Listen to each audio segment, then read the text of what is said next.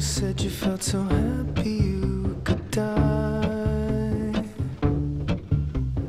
I told myself that you were right for me, but felt so lonely in your company. But that was love, and it's an